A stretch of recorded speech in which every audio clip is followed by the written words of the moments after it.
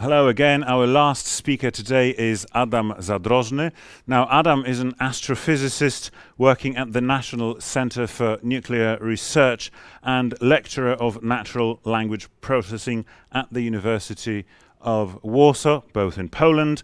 As a PhD student, he was an intern at Facebook and later he got his PhD at the National Center for Nuclear Research. He took part in the first detection of gravitational waves during the international LIGO Virgo project. Subsequently, he was awarded the Copernicus Medal by the Polish Academy of Sciences and the Special Breakthrough Prize in Fundamental Physics. He completed his postdoc at the Center of Gravitational Wave Astrophysics at the University of Texas. Your turn, please.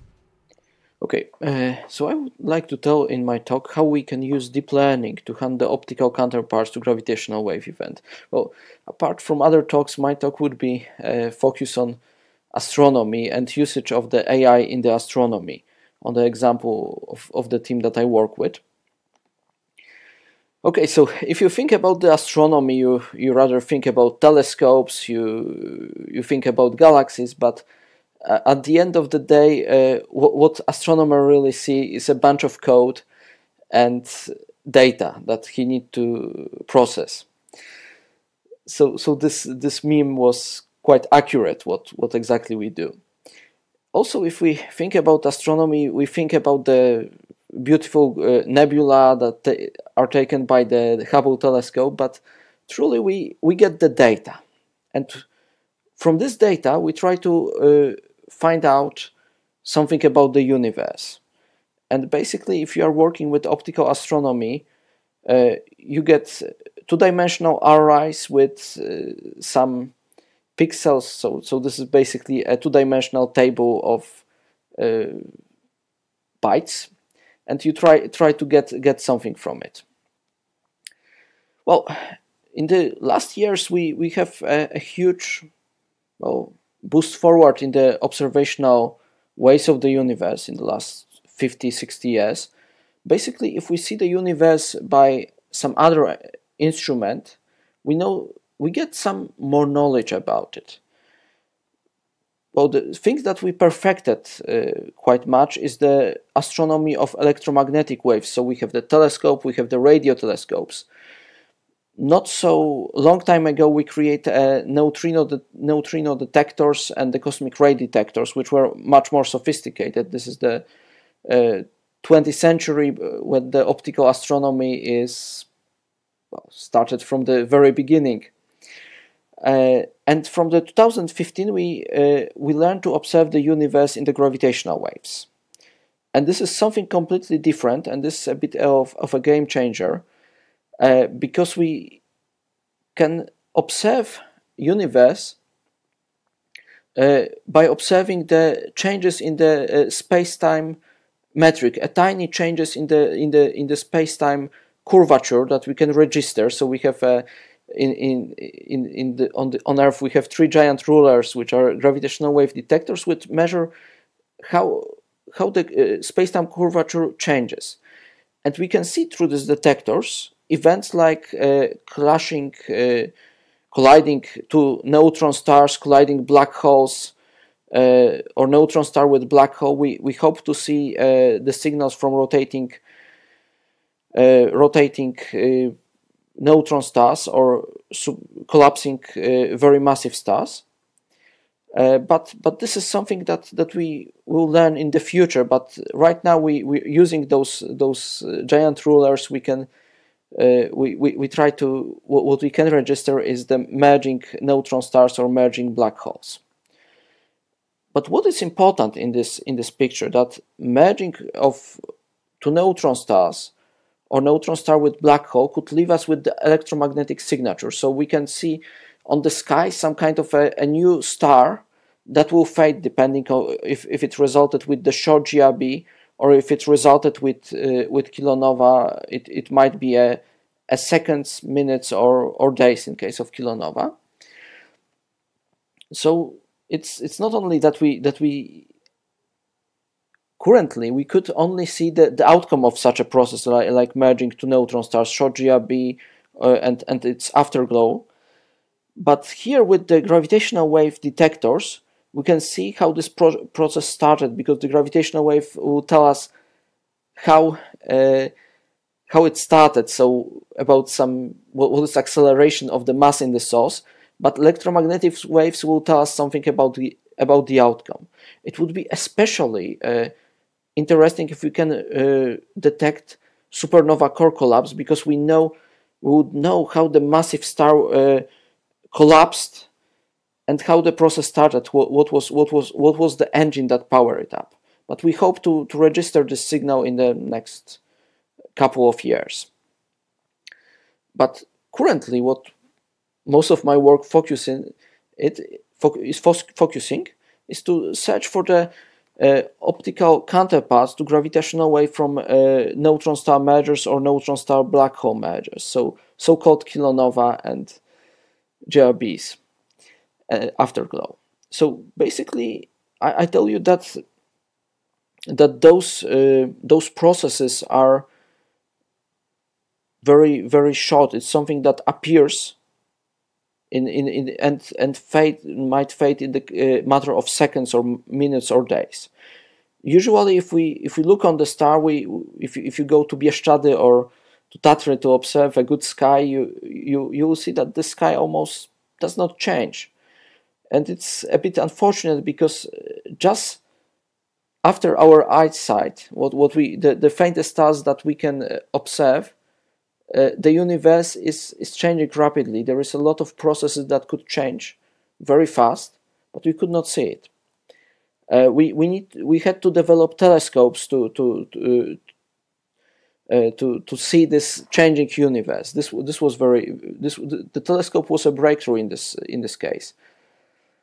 So if for example here we have the the picture of the NGC uh, 993 and if, if you can look on this animation in the matter of days from uh, August 22 to till August 28, the object, the kilonova starts fading very very fast, but it appears in the in the matter of days. So so it was not. If we think about astronomy, we think about billions of years, millions of years. But here we have processes that that that could happen in the matter of days. So this is something which is not not very aligned with what we what we learn in school. Well, the gamma ray burst, I, I tell you that it was uh, the short gamma ray bursts are the merging of two neutron stars. Ba basically, neutron star is a very compressed uh, star. It's something that that has 1.4 uh, solar mass, but it's compressed to the size of Wrocław. So so basically, you can imagine how how dense the matter is. It's a very neutron rich and basically if those those two objects collide and the last and this this collision process is uh, at the very end it's very rapid. Uh, if so then it forms a black hole and forms a jet and eject a lot of neutron star rich matter uh, neutron uh, neutron rich matter uh, around this this object. And also it forms a jet with the gamma rays and there is uh, here we have one, the, the, the most uh, the the most luminous one GRB which uh, which afterglow could be seen even by the naked eye but we registered only one of it and we uh, like that bright and we uh, studying the GRB si since 70s so so it's usually a very faint and very fast fading objects the, the other, if you, there is also another type of GRBs, which is the long GRBs. And these long GRBs are the result of uh, collapse of very massive star. And also we, we have the jet there. Uh, this, this, is, this is our hypothesis. This, this one is confirmed that at least in the sum of uh, some cases it's a merging of two neutron stars. Uh, but the problem is how to how to hunt uh, those GRBs, how to how to find if we if we have uh, information in LIGO which we which we had about 30 seconds prior to the to the merging of this neutron star that there will be a merge of neutron star in in our vicinity, which means 40 uh, megaparsecs, which translates to uh, 100, 120 million light years away, so quite close in the universe terms. But just after the merging of two neutron stars, we observed the GRBs. This was the event GW 170817. And then the, the other telescopes uh, joined and uh, start observing it into optical, uh, infrared, radio, and X-ray. We X-ray we catch at the very end. Uh, but the okay, so, so you, you, might think, what, what is the problem with uh, with catching catching such event? Problem is the localization because here, if we have only uh, two uh, gravitational wave detectors, we got a, a part of this uh, sphere. But when we have the three of three of them and the GRB satellite, which uh, registered the GRB, GRB that were accompanying this event, we have still about 40 square degrees to, to search. But the problem is that the good telescope have a field of view of one square degree and really good telescope which can look into very deep space have only a fraction of one square degree. And in this case, we are extremely lucky because otherwise this area it's typically about few hundred square degrees. So you can imagine that searching for it is not easy. Sorry. About this uh, about this event. Uh, GW 0817 was very special one because we it was first time when we observed the merging of two neutron stars in the gravitational waves. Uh, first time that we could confirm that uh, colliding neutron stars really produce the short GRBs, uh, and we can we could confirm that the God in the in the universe uh, was created in the merging of two neutron stars. So if you have something which is which is God, uh, like like for example a ring on the finger it means that it was a matter that was created in the uh, in the two neutron stars colliding. So there, there was a plenty of science that we do on this event. Uh, so and people were pretty enthusiastic but up till now we we were able to observe in LIGO six neutron star mergings merger neutron star mergers but we only observed the EM counterpart once. And it was only the case when the localization was pretty good. So in other cases, we are not so lucky in this case. Okay, so let's let's get to the to the what uh, interests you probably the most. So uh, so so IT. So we, we need to wire the our algorithms that that need to help us with with this search because clear, clearly you you now see that we have the problem uh, with our apparatus. So we can have uh, some telescopes which, which, which are observing the stars. And we need to find the optical tra transient faster than the other teams. Uh, because uh, who, who get it faster, uh, the, the, the one who get it faster will publish the most interesting, uh, more interesting publications. So this is this is some kind of a, a run for it. And the problem is okay, we, we, we got the, the, the alert from uh, LIGO, there is a possible merger of two neutron stars and we need to find a weak transients. So what we do?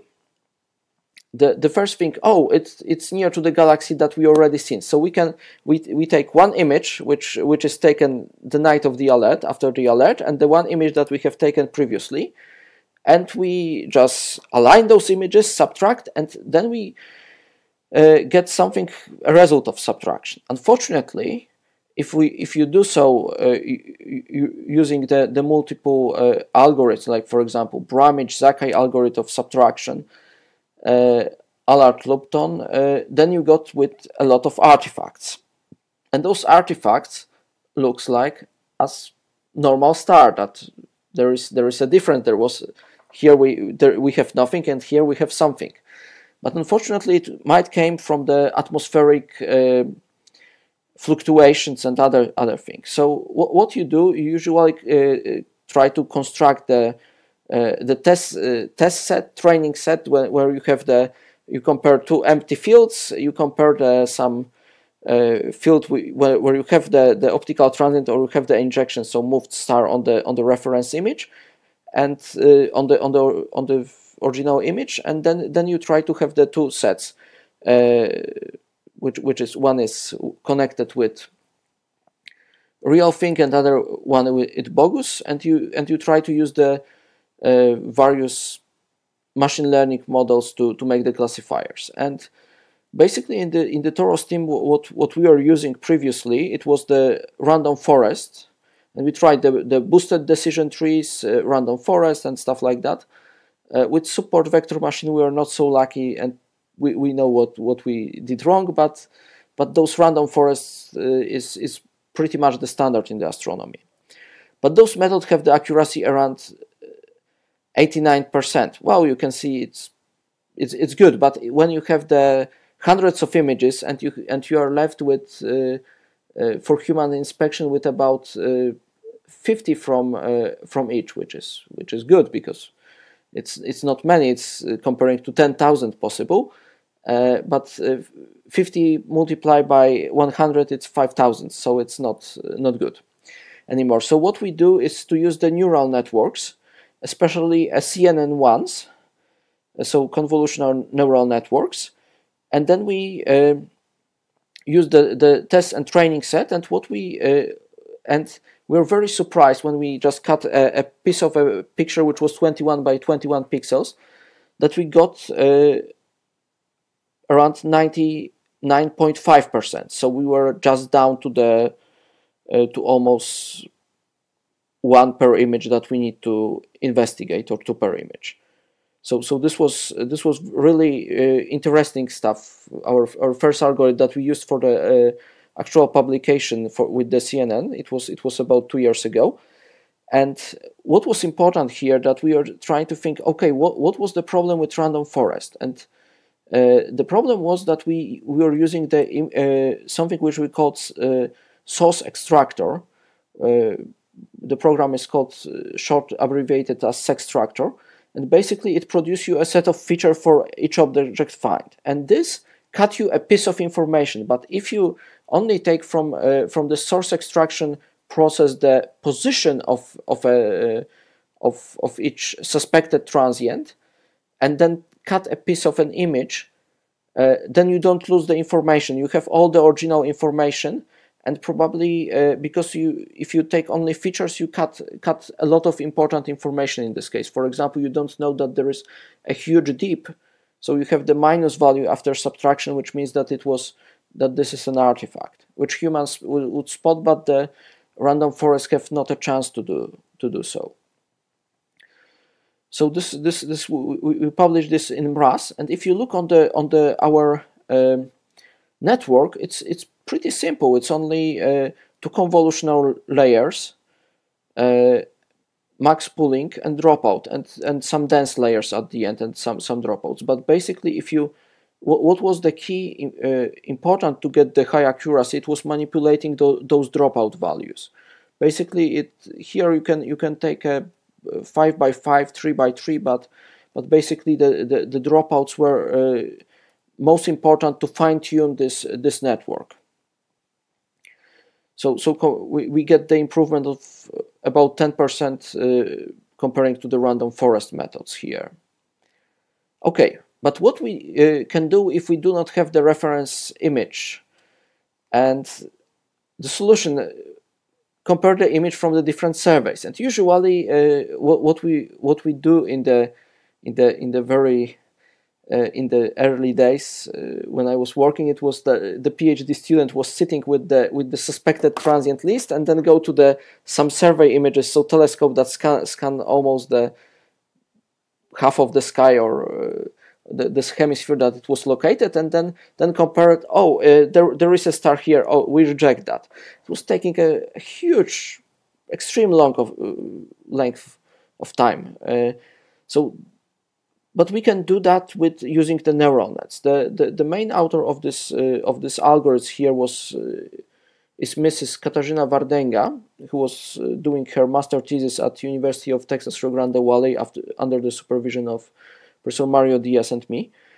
And what, what we can do in this case, here we have the images of taken from CTMO, which is the telescope located in Brownsville, and SDSS, which is the, the, the, the survey that it's located in Arizona.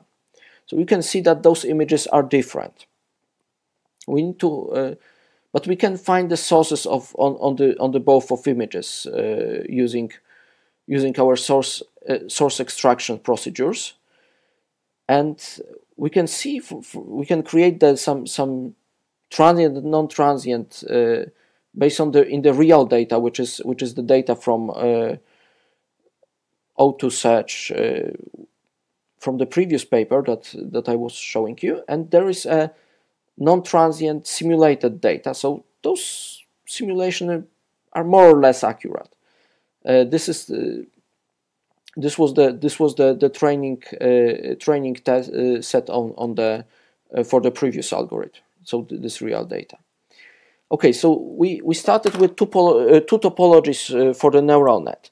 One is it was based on the CNN, so we have uh, as an input we we put a two uh, three-dimensional arrays with, with with the layers, which was one it, it was the CTMO image, the other one was SDSS image, and we have the uh, convolutional layer, max pooling layers, and, and dropout layer. At the end, we, we end up with dense, dense layers. And the other one was a, a, a bit different topology where the CTMO uh, and SDSS image were put through the set of dense uh, layers. Then we get uh, then we do the concatenate, and then we get the dense uh, dense layers. There is there is no dropout here, and the network was doing some errors. Basically, here we have uh, uh, some errors which were not recognized as a transient or was falsely recognized as a transient due to misalign of the stars. Uh, some some other uh, this this were the, the, errors for the CNN model. That was the typical for the dense model. But the result that we that we obtain using uh, training on 10,000 samples the CNN model predicted correctly the transient in 98% uh, of cases. The dense layer was a bit worse, it was 97% of cases. So the accuracy in this case was, was pretty high. And the main error is was classifying uh, of the non-transient. So uh, basically the network tend to uh, classify non-transient as a transient. So, so we got uh, quite uh, many false positives. But it is much better than if we need to wait about a day or at least a few hours for a reference image. We can do it on the spot and we can, thanks to this algorithm, we can do a localization of potential optical transient connected with gravitational wave event almost on the spot. So, so basically we, we take the image, we process it, and in a few minutes we have the potential optical transient candidates which which would be a, a, a big step forward in this uh, for for our team. Going to the to the end, basically, uh, what is important to mention that if we are doing a time domain astronomy, we are not doing the exposition of, of the image for a few uh, hours, but we are do, taking the images every 10 seconds. This is this is from the Pi of the Sky team, which which was the uh, Polish team that, that was a precursor in many many of the methods uh, for online anal image analysis. Uh, those those systems were taking images every 10 seconds, uh, which means that uh, number of data data that you get uh, during the night it was 30 gigabytes for us. Well, it's it's not a problem, but this was the number of uh, data that you that you were taking in the 2007 so so it was and, and 2008 so it was not so the, the hard drives were not so big at that time. Uh, what, what was the funny thing was that at some point the, the switch was saturated uh, and it was a gigabyte gigabit switch that we're using by this observatory. Uh, so so this is so more observation you you do more data you get and this was the the gigabyte or uh, gigabyte per per nights and few gigabytes per hour uh, but here we, we have the, the another uh, project that it's uh, it's LSST project which which is made by international consortium mainly uh, the universities from United States but uh, here you get a few terabytes per night in the LSST. So so in fact, you you get the, the the full catalog and only catalog, not images, after 15 years of operation of this telescope would be uh, at, at least 15 petabytes. but with the images, it would be all, almost a half of exabyte. So, so the huge data centers would be would be needed for this project. So basically, what what I would like to uh, tell you that uh, in the time domain astronomy, a good algorithm might, might be helpful. You, you, you are also not, not only limited by hardware, but also the algorithm uh, uh, plays the key issue.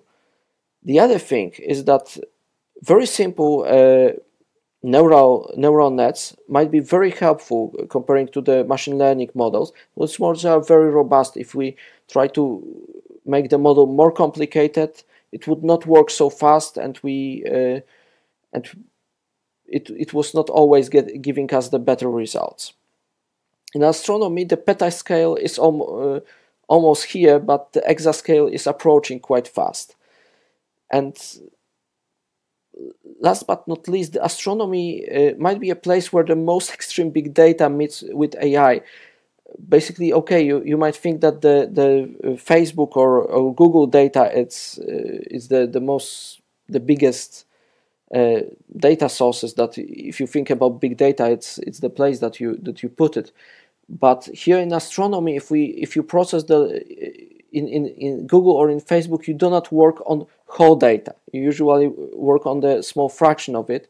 But here in the preparing the catalogs with the LSST which will be a, a few years in the future we, you you make the research on the whole data set so this might be a place where the extreme big data meets AI. So basically, with with our telescopes and with our algorithms, we, we try to try to understand uh, universe a little bit more. So thank you very much for your attention, and I'm awaiting your questions. Thanks. Adam Zadrożny on deep learning and gravitational waves. Adam, thank you very much indeed.